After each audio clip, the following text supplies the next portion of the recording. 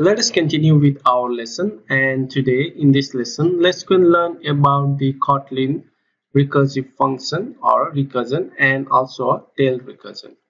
So let's go and see in a practical way what is a Kotlin recursive function. So by the recursive function we means that a function calling itself so when a function is calling itself from its uh, method body, then it is known as a recursive function. If you notice over here, I have created one function over here and the function name is a get Fibonacci number. And if you see in the method body, we are calling the same function from its method body. So that's the recursive function that we are talking about over here.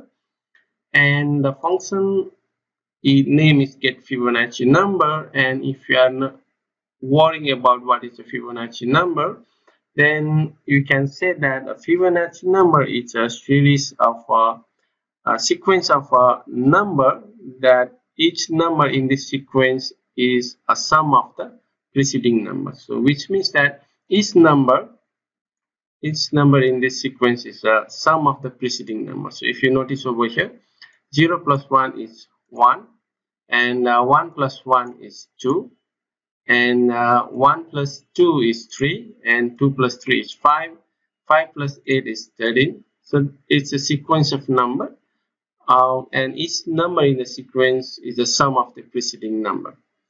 So that's the Fibonacci number we are calculating over here. And this method takes us three parameters over here. We can say uh, n a and b. So n number of time you can pass any number over here which is an integer value.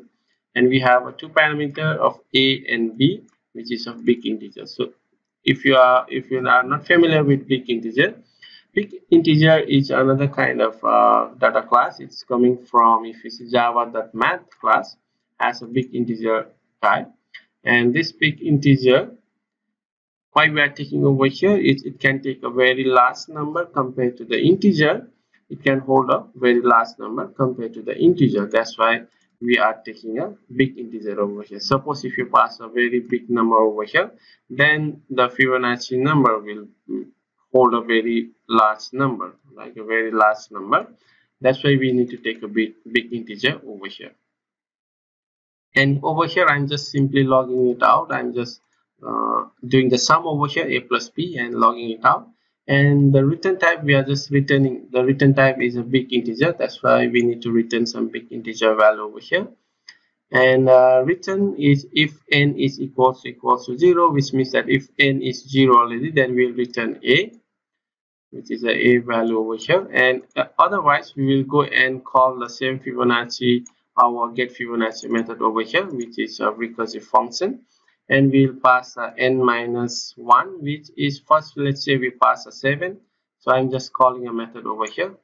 You can see get fibonacci? I'm passing the first number as first value as a 7 and second is 0 and 1 so 0 and 1 and the 7 so 7 means that n minus 1 should be 6 and uh, 0 plus 1 should be 1 and we are setting the value of a b again as a a.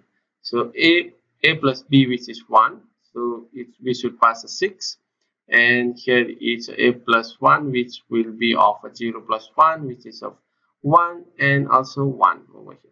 And second it will again go and call the same function uh, n minus 1 which means 6 minus 1 should be again go over here as a 5 and uh, 1 plus 1 it should be 2 over here and again 2 so that's what we 2 and the value of a is 1 so that's why we are just looping over over again and again calling over here.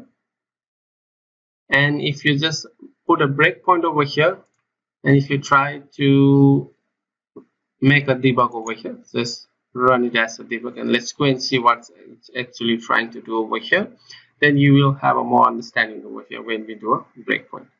So let's try to do a breakpoint over here and maybe we just break point in the down. That maybe too that may be too slow if we do run a method breakpoint just disconnect. And let's try to do a breakpoint so yeah.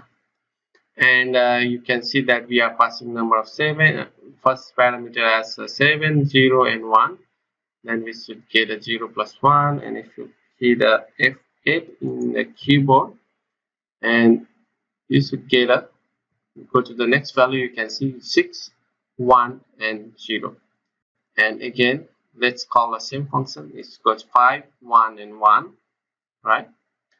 And uh, let's call again. Let's go to 4 2 and 1 yeah and 3 3 and 2 and it should be 2 5 and 3 and finally 1 8 and 5 and it's the last which is of 0 13 and 8 if you go over over over here then it should return 0 that should end our method call. So that's a simple recursive function over here and we can just run it. And if you go over here and what we can do over here is a tail recursion tail recursion in kotlin we can make use of one keyword which is a method modifier. We can just say call it tail recursive.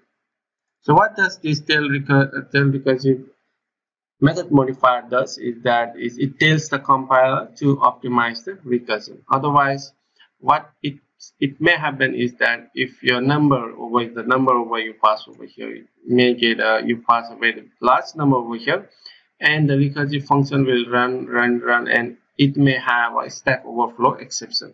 So which may get which may explode your uh, stack memory and you have a limited stack memory and it may get a very large number which may not be stored in your stack memory. So with a tail recursive function that the compiler will optimize our recursive function and that's the useful thing with a tail recursive so i think that's all for this lesson and i i would like you guys to go and practice it and if you have any more question on it do let me know. We'll continue with our lesson on the next video. Till then have a great day